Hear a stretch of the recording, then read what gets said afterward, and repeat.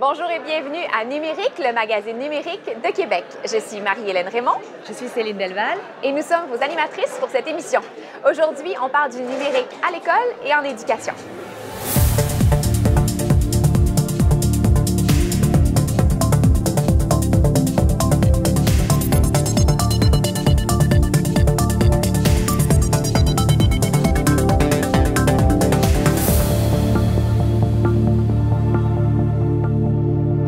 Marie-Hélène. Bonjour Céline, je suis contente de te retrouver pour cette troisième saison de Numérique. Ah oui, moi aussi, je suis contente d'être de retour à Québec, de te retrouver, d'être ici au Web à Québec.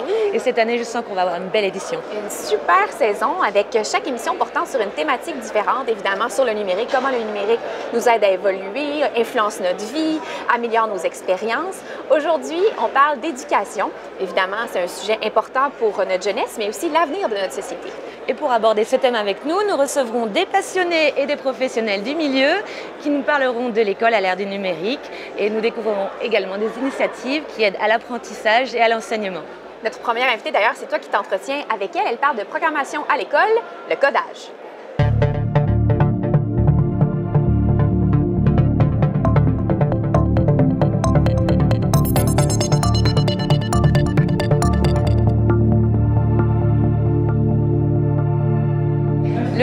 Fait pas partie officiellement du programme du ministère, mais des écoles et des professeurs ont déjà inclus la programmation dans leur enseignement.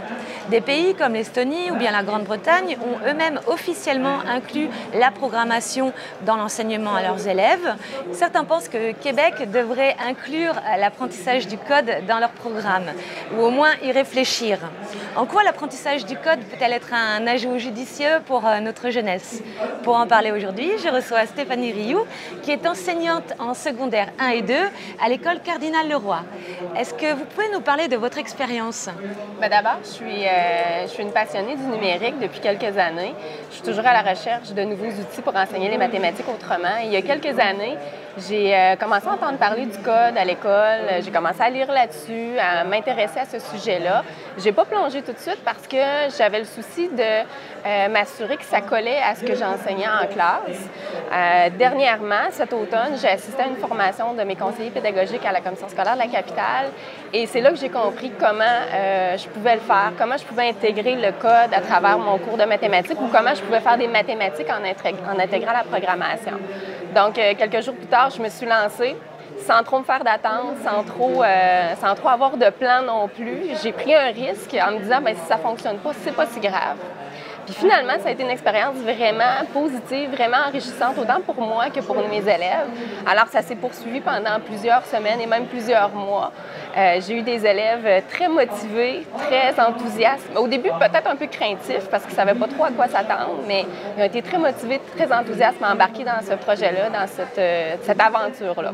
C'est super. Est-ce que vous utilisez des outils particuliers pour cet apprentissage? Oui, d'abord, euh, j'ai commencé avec la plateforme code.org qui est supporté par euh, Microsoft, Google, Facebook.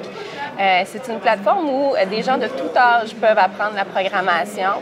Même aussitôt qu'un enfant apprend à lire, aussitôt qu'un enfant sait lire, peut être en mesure d'apprendre les rudiments du code. D'ailleurs, je l'ai fait, je l'ai fait pour mes propres enfants de 7 et 9 ans. Ils ont appris tranquillement à programmer. Et tout adulte aussi qui est intéressé par le sujet, je pense que c'est une bonne façon de commencer, de débuter. On est dans un univers de jeux comme Minecraft, comme euh, Star Wars, comme La Reine des Neiges, et à travers le jeu, on apprend les bases de la programmation. Donc, c'est comme ça que j'ai commencé avec mes élèves. Ça a été euh, notre début. Et là, ben, c'était un petit peu l'euphorie. Euh, il n'y avait pas l'impression d'apprendre les mathématiques, d'apprendre le code, le jeu, parce qu'il y avait l'impression plutôt de s'amuser. Par la suite, je suis passée, bien sûr, il fallait que maintenant que j'intègre les mathématiques à travers, euh, à travers mon, enseignement de la programmation. Donc, par la suite, je me suis servi de Scratch. Scratch est développé par le MIT. Et Scratch euh, offre beaucoup plus de possibilités parce que c'est là qu'on peut utiliser des variables, des inconnus, comme en mathématiques. Surtout au secondaire, secondaire 1 et 2, on commence l'introduction à l'algèbre. Donc, euh, c'est à ce moment-là que le, le raisonnement euh, logique est sollicité. C'est à ce moment-là que la pensée algorithmique nous permet de se diriger vers la pensée algébrique. Puis, euh, c'est ça, Scratch a été vraiment l'outil le plus utilisé euh, à travers mon enseignement. J'ai aussi utilisé AlgoBox. AlgoBox, c'est un outil qui est simple d'utilisation, qui ressemble beaucoup, beaucoup à ce qui est fait en entreprise. Donc, un outil qui est épuré, simplement, mais avec les mêmes commandes. Donc, mes, élèves voyaient le lien entre Scratch et AlgoBox. On utilisait le même type de programmation, mais dans une interface, un univers qui est différent. Puis, ils ont beaucoup aimé aussi, je trouvais ça important, tu vois les deux, le côté ludique, le côté plus pratique, plus euh, orienté vers, le, vers euh, leur travail éventuellement. Alors, vous avez vu une amélioration sur l'apprentissage des mathématiques en utilisant le code? Oui, en fait, j'ai vu mes élèves beaucoup raisonner, parce que c'est toujours ça aussi, c'est à travers un problème de mathématiques, comment on va développer un algorithme, on va raisonner sur un algorithme qui va permettre de résoudre un problème mathématique. Exemple, la résolution d'équations. Exemple, le plan cartésien. Euh, j'ai fait des probabilités aussi avec mes élèves. Donc, on vient appuyer les contenus qui sont enseignés en classe avec la programmation. Donc, euh, oui, j'ai vu une différence. Puis les jeunes, euh, ça rend les mathématiques, je pense, plus stimulantes, plus intéressantes. Je ne dis pas qu'ils sont pas intéressantes à la base, mais pour certains peut-être. Mais c'est une façon de faire des maths autrement. Et est-ce que vous avez créé des vocations de développement chez des élèves qui envisagent de poursuivre? Oui, ben, l'objectif, c'est pas d'en faire des programmeurs nécessairement. Il y en a peut-être certains qui vont accrocher, ça va les allumer, qui vont poursuivre dans ce domaine-là.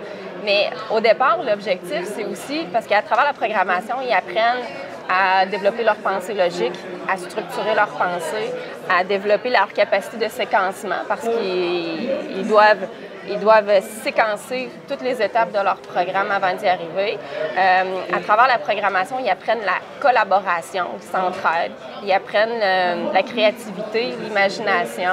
Euh, on développe toutes sortes de compétences qui servent pas seulement en mathématiques, mais qui servent dans notre quotidien, qui servent dans les autres matières aussi. Donc, le but, c'est ça. C'est pas seulement d'en faire des programmeurs, mais c'est de, développer toutes ces compétences-là. Donc, vous partagez votre passion. C'est comme ça que vous avez introduit euh, le code dans votre enseignement. Est-ce qu'il y a euh, l'éducation euh, nationale à Québec vous aide, vous, vous donne des cours, vous propose des formations spécifiques? Oui, mais en fait, j'ai beaucoup trouvé de ressources sur Twitter sur Twitter, il y a beaucoup de gens qui sont passionnés du même sujet et qui partagent, qui partagent des textes, qui partagent des idées.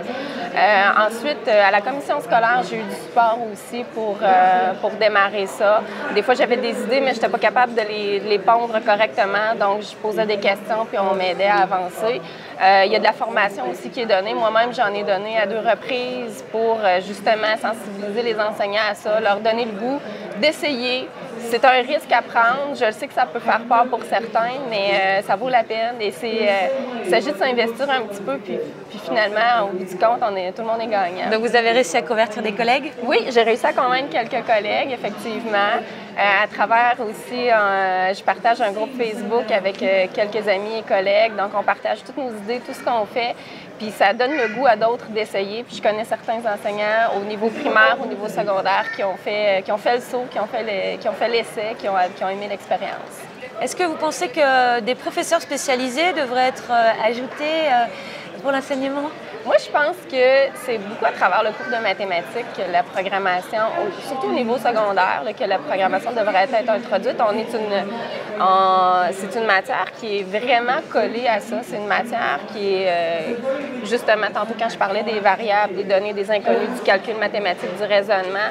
Euh, donc, je pense que la formation devrait peut-être être donnée aux enseignants de mathématiques pour l'intégrer euh, tranquillement. Au primaire, je vois surtout de façon ludique et peut-être mathématiques éventuellement. Puis qui sait, peut-être aussi à travers des cours d'informatique, euh, des options, options informatiques, enseigner le code à travers ça, ça peut être une bonne... Euh, C'est formidable. Oui. Merci beaucoup Stéphanie pour cet entretien et continuez votre bon travail. Après notre capsule de bonnes idées, Marie-Hélène recevra deux invités qui nous parleront de l'école à l'heure du numérique. Pour initier les enfants à la programmation et à la robotique, Margarida Romeo, professeure en technologie éducative, a créé l'histoire de Vibot, le robot. Publié sous forme d'album illustré, le livre raconte l'histoire des jumeaux Viviane et Victor qui reçoivent pour leur anniversaire un petit robot qu'ils appellent Vibot. Avant de pouvoir jouer avec leur nouveau jouet, les jumeaux doivent assembler les pièces, charger les piles et lui donner des instructions dans son langage, le code. Pour vos enfants, à la maison ou à l'école, c'est là que l'aventure commence. Le livre les amène sur Scratch, une plateforme d'apprentissage de la programmation. Arrivés sur Scratch, vos enfants apprennent de façon visuelle comment donner de simples instructions à Vibot pour le faire bouger, lui faire faire des actions. Intéressé? Vous pouvez vous procurer le livre chez votre libraire et accéder à Vibot sur Scratch. Allez-y, codez!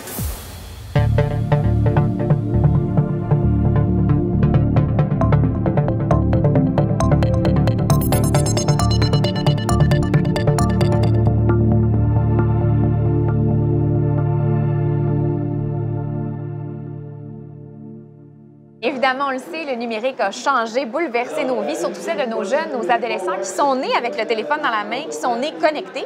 On se pose la question aujourd'hui, comment enseigner, comment intéresser ces jeunes-là? Est-ce que l'école est adaptée à l'ère du numérique? Pour en parler avec nous, Mario Asselin, ex-directeur d'école et également consultant. Merci d'être là. Bonjour, merci de l'invitation. Merci. Thérèse Laferrière, qui, elle, enseigne l'éducation à l'Université Laval. Merci d'être là aussi. Bienvenue à Numérique. Écoutez, j'ai envie de vous demander euh, d'abord, euh, comme ça, qu'est-ce que c'est une école qui embrasse le numérique? Une école qui embrasse le numérique, bien, je pense qu'elle respire le numérique. OK. OK? Ça, ça veut dire que peut-être pas à chaque, à chaque bouffée, mais régulièrement, le numérique entre dans la classe. OK? Une école où il y a, les réseaux sont là, où les gens travaillent en réseau, et une école qui tient compte du fait que le lieu classe n'est pas nécessairement le mieux pour chaque situation. Elle fait Ah. entrer des experts de l'extérieur et elle est ouverte, elle publie du contenu sur l'extérieur. OK. Concrètement, quand vous parlez de réseau, qu'est-ce que c'est exactement? Ben, les professeurs euh, imaginent des situations d'apprentissage en co-construisant. La charge n'est pas que sur leurs seules épaules. Euh, les jeunes peuvent faire la conversation avec d'autres, peuvent échanger. Euh, L'idée des réseaux, c'est qu'on on est- on- on peut ensemble faire de meilleures choses que si on est tout seul, isolé. Pas en vase clos. Ben, c'est ça. Exact. Souvent, on on peut faire dit- appel aux ressources externes. Oui, Hein, c'est ça. hein. Le réseau apporte des ressources. Ça peut être des ressources humaines. Par exemple, euh, on a des situations où ce sont des experts d'extérieur qui viennent, OK, qui entrent dans la classe. Ça peut être quelqu'un qui vient consulter pour euh, la littérature, par exemple, et travaille avec les jeunes. Les jeunes font des textes et il y a quelqu'un d'extérieur qui interagit avec eux. Ou ce sont plein de ressources documentaires. C'est l'élève qui va sur le web pour faire des petites recherches et ainsi de suite. Mais c'est ça qui décloisonne la classe, d'une certaine manière, mais il faut la réorganiser, par exemple. Quand j'ai commencé avec les jeunes en 2003 à les faire bloguer, c'est comme s'il n'y avait plus de murs autour de l'école, il n'y avait que des fenêtres. Ah, c'est bien dit, c'est une belle image. Est-ce que les professeurs sont outillés? Est-ce qu'ils sont prêts à ce virage-là? Est-ce qu'ils sont tous ouverts à ça? À faire venir des gens de l'extérieur, à élargir le réseau? Moi, je pense qu'il y a une grande ouverture chez les enseignants. La question, c'est comment on le fait, dépendant du temps dont on dispose, du curriculum qu'il s'agit de couvrir, des examens qu'il s'agit de faire passer aux élèves. On aimerait qu'il le soit, mais il faut être réaliste. Il y en a un gros 25-30% à mon avis, qui sont réfractaires à ça. Ah oui. Compte tenu des interdits aussi, vous savez, les réseaux dans les écoles sont filtrés. Euh, les médias sociaux en particulier, on juge souvent que c'est du divertissement. Alors, on s'arrange pour ne pas que ce soit réellement accessible. Alors, euh, les gens qui font des réelles expériences d'intégration, moi, je qualifie que c'est encore un peu... On vient de quitter l'anecdotique, là. OK. C'est pas une pratique qui est répandue. Et les gens essaient de se situer. Il y a des gens ouverts qui attendent d'être formés. Puis il y a des gens qui sont champions, peut-être dans le domaine du 10% qui essoufflent un peu les autres qui les voient faire.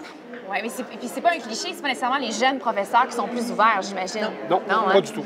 Ils sont habitués pour leur vie personnelle, mais de là, ils ont trop de choses à apprendre dans les premières années pour intégrer le métier. Ah, OK. Ouais, puis- Et c'est- un peu plus tard, ils arrivent là, à intégrer davantage. Moi, je dis qu'après cinq ans, là, et là, il se passe des choses vraiment intéressantes. Il y en a trop aussi qui essaient d'être les experts de la technologie, Ah. alors que les jeunes le sont. Alors, ils n'utilisent pas les jeunes adéquatement pour se dépanner lorsqu'ils ont des petits problèmes, des petits Ouais. soucis avec la techno qui ne marchent pas tout le temps. Non, c'est ça, c'est le fun de la technologie quand ça fonctionne, Oui, par exemple.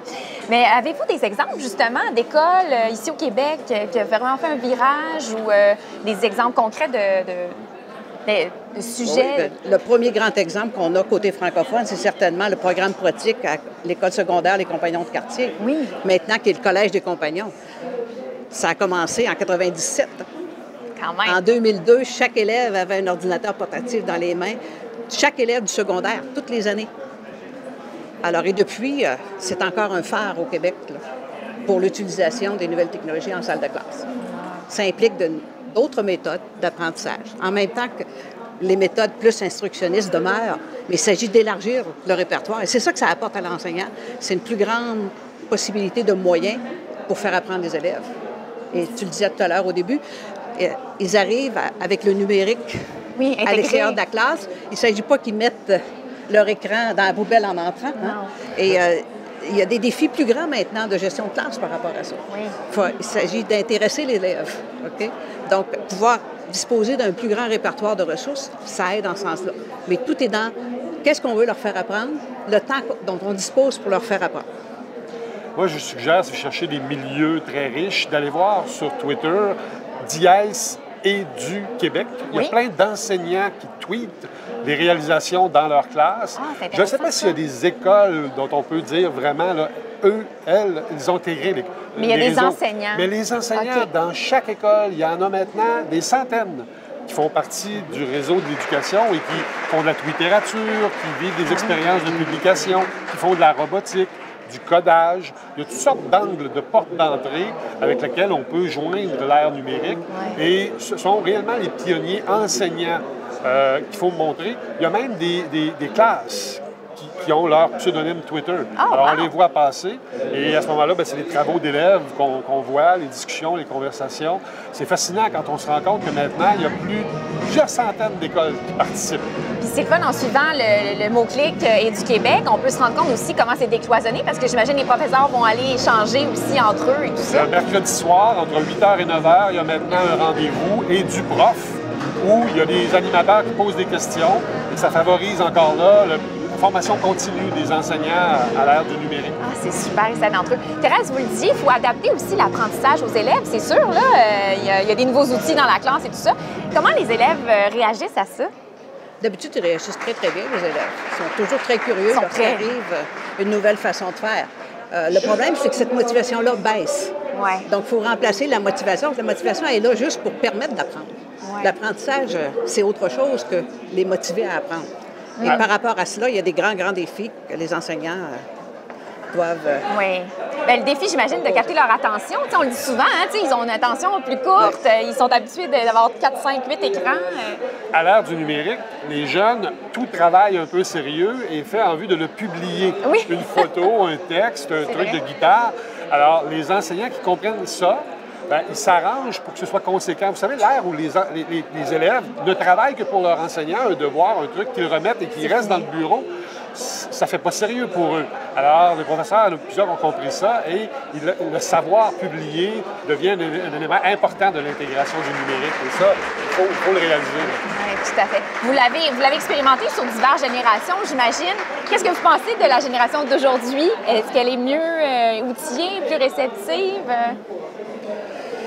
On peut penser aussi à l'ombre de tout cela. Hein. Ah C'est-à-dire, tu parlais tout à l'heure, le, temps d'attention est plus court, mais à l'école, il y a des choses sérieuses à apprendre aussi. Oui, c'est ça. Alors euh, là, on est devant des défis. Euh, les ressources ne font pas tout. Hein. C'est la personne de l'enseignant et la façon aussi dont l'élève demeure attentif.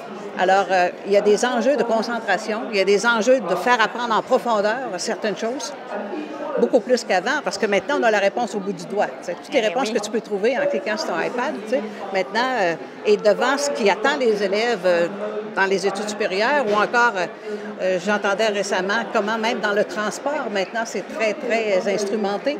Alors, le mécanicien, maintenant, sa tâche est beaucoup plus complexe que le mécanicien d'automobile, beaucoup plus complexe qu'avant. Alors, ça oblige ça à travailler en résolution de problèmes beaucoup plus. Donc, il y a la partie agréable, il y a la partie sérieuse aussi qu'apportent les nouvelles technologies et les nouvelles attentes que la société loge à l'égard de l'élève qui deviendra un adulte dans le monde du travail par la suite. Et les jeunes sont beaucoup plus éthiques qu'on peut le penser. Mhm. Le dévoilement des renseignements personnels, les adultes s'imaginent qu'ils n'ont pas conscience que c'est dangereux. Vrai. Les jeunes, il faut leur faire confiance. Ils ont appris beaucoup de choses. Il y a encore beaucoup à apprendre. Avec le niveau d'encadrement des adultes, ça va s'améliorer. L'ère où l'enfant est seul sur l'autoroute de l'information dans sa chambre à coucher, euh, ben, c'est en train de disparaître. Les gens sont conséquents. Et euh, moi, j'ai confiance aussi dans la capacité des jeunes d'échanger des points de vue divergents. On n'est pas les spécialistes, les adultes, puis euh, les plus âgés. Là, hein. Aujourd'hui, les jeunes trempent dans ça. Ça va nous faire une belle société. Tout à fait. Excellent mot de, fin. Merci beaucoup, M. Hassin. Merci, Mme Laferrière. Merci d'avoir été avec nous. Et on va suivre ces mots-clics sur Twitter. On vous suit aussi également sur Twitter. Vous êtes très actifs. Merci d'avoir été là. Grand plaisir. Et du techno, c'est l'initiative d'une enseignante en primaire, Valérie. Elle s'est rendue compte au fil de ses recherches qu'Internet offrait très peu de ressources interactives pour appuyer les enseignantes et les enseignants. C'est pourquoi elle s'est associée à Alexandre, un développeur pour créer EduTechno. Sur le site edutechno.ca, les enseignants peuvent payer un abonnement annuel pour obtenir des activités et exercices divers qui combinent vidéo, audio, texte, illustration, récits pour aider à l'apprentissage de différentes notions et ce, pour tous les niveaux du primaire et pour les différentes matières. Vous pensez qu'EduTechno pourrait vous aider en classe? Visitez leur page edutechno.ca. Un essai gratuit de 30 jours est disponible pour vous convaincre. Avec le numérique sont nées plusieurs initiatives pour aider les enseignants dans leurs tâches et l'une d'entre elles, c'est le EdCamp Québec. On a avec nous aujourd'hui la co-organisatrice de EdCamp Québec, Audrey Miller, qui est aussi directrice de l'école branchée. Merci d'être avec nous. Ça fait plaisir. On va faire ensemble l'expérience de l'entrevue express. Donc, 10 questions super précises et des réponses courtes. Deux, trois phrases. Ça te va? Bon, parfait. Allons-y. Alors, le EdCamp Québec, c'est quoi? Alors, c'est une journée de formation en éducation dont le contenu est décidé sur place par les participants. OK. Et ça s'adresse à qui? Ça s'adresse aux enseignants, conseillers pédagogiques, les gens qui interviennent en classe auprès des élèves, principalement primaires et secondaires. OK. On, ça dure combien de temps? Ça dure une journée. On arrive là le matin vers 8h30, on repart vers 4h. Qu'est-ce qui se passe du matin à la fin de la journée? Euh, ben, en arrivant le matin, en fait, il y a un peu de réseautage. Ensuite, on explique le déroulement. Puis, euh, c'est suivi de quatre périodes de 50 minutes euh, dans lesquelles les, les participants ont à leur disposition neuf locaux. Donc, ils peuvent se rassembler pour discuter de sujets qui les intéressent particulièrement. Et aussi, à la toute fin de la journée, il y a toujours une remise de prix de présence qui est très appréciée. Ah, super. Est-ce qu'il y a des règles? Il y a une seule règle, aucune règle. Oh, Donc, euh, c'est ça. Euh, on peut entrer dans une salle, si le contenu nous plaît pas, on a le droit d'en sortir sans que personne se sente outré. Euh, on peut proposer les contenus qu'on veut, les thèmes qu'on veut. On peut aller discuter dans la cafétéria, on peut sortir dehors si on veut. Bref, c'est tout à fait libre comme journée. Super. On s'inscrit comment? On s'inscrit en ligne sur le site web edcamquebec.wordpress.com. Et ça coûte combien? Ça coûte, en fait, l'activité en elle-même est gratuite. Par contre, on, euh, on, demande un petit 15 pour les repas, collations, tout ça, parce qu'on ne veut pas que les gens euh, se sauvent. Donc, on, fournit euh, toutes ces choses-là. Donc, 15 seulement. Ça se déroule où? Ça se déroule au Collège des Compagnons. C'est la cinquième année qu'on est avec eux, mais éventuellement, un, un headcamp peut se dérouler dans n'importe quelle école. Et c'est combien de fois par année, le headcamp? Le Camp Québec, lui, se déroule une seule fois par année. Par contre, un peu partout dans la province, pendant l'année, il peut y avoir d'autres camps. À ce moment-là, ils vont s'appeler Camp Montréal, Camp Trois-Rivières, etc. Ah, super. Et finalement, bien, on vous suit sur WordPress, mais on vous suit où? On peut nous suivre également sur Twitter, notre compte EdCamp Québec. Il y a également le hashtag EdCampQC et notre page Facebook EdCamp Québec, tout simplement. Super, on va vous suivre. Bonne chance aux participants. Merci beaucoup, Merci beaucoup.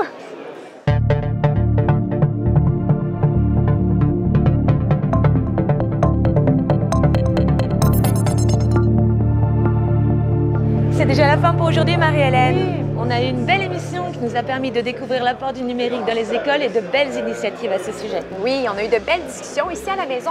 Vous êtes intéressés à approfondir le sujet. Vous pouvez suivre Québec numérique sur québecnumérique.com. Et vous pouvez suivre également les différentes initiatives et organisations dont nous avons parlé aujourd'hui. Notre prochaine émission, on ne sera pas en reste, on parle de numérique au féminin.